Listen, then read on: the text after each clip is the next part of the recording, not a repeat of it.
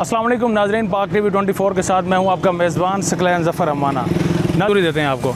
بس آٹھ سو ہزار روپے دیڑی دیتے۔ کیا کام کر لیتے ہو؟ یہ ماتوڑی کا توڑ پھوڑ کا کودائی کا صفائی کا سب کچھ۔ سات سو سے ہزار میں آپ کا گھر چل جاتا ہے؟ یار بالکل آج کل تو بالکل نہیں چل جاتے۔ آج کل مہنگائی بہت زیادہ ہے۔ چھ سو روپئے تقریباً کلو گوڑی ہے تو بہت مشکل سے گزارا۔ کس علاقے سے ہو آپ ہم جو ہے نا مومن ایجنسی کا ہے۔ تو وہاں پر کیا اتنے اپرچونیٹی کوئی نہیں تھی کہ آپ کو اسلام آباد آنا پڑا بالکل نہیں ہے۔ مومن ایجنسی میں نہ تعلیم ہے نہ روزگار ہے کچھ بھی نہیں ہے۔ ہم مجبوراً یہاں آئے ہیں۔ آپ کی تعلیم ہے کتنی کتنے تعلیم پڑھے جمعہ تک پڑھا ہے۔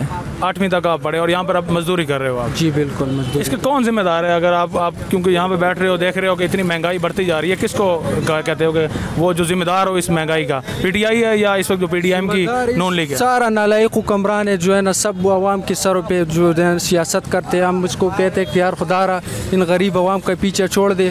یہ بہت لوگ جو ہے نا بے روزگار بیٹھے ہوئے ہیں، آپ لوگ اس کی سروں پہ سیاست کرتے ہیں، تو خدا رہا اس کا پیچھا جو ہے نا چھوڑ دے اور ان کو کوئی روزگار دے دے۔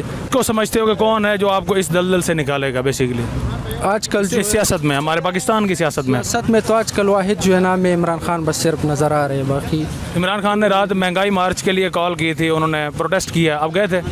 گیا تھا ہم گیا تھا رات کو اپنا پارک اگر لانگ مارچ کے لیے بلائے لانگ مارچ کے لیے بھی جاؤ گے۔ انشاءاللہ جائیں گے۔ آپ کو لگتا ہے وہ مہنگائی سے آپ لوگوں کو نجات دلائیں گے عمران خان؟ انشاءاللہ دلائیں گے دلایا بھی تھا اور ابھی انہوں نے پھر زیادہ کر دیا۔ لائک کرنا مت بھولیے گا۔ سبسکرائب بٹن پر کلک کریں اور بیل کے نشان پر بھی کلک کریں تاکہ ہر ویڈیو آپ کو مل سکے۔ اپنا خیال رکھیے گا۔ اللہ حافظ۔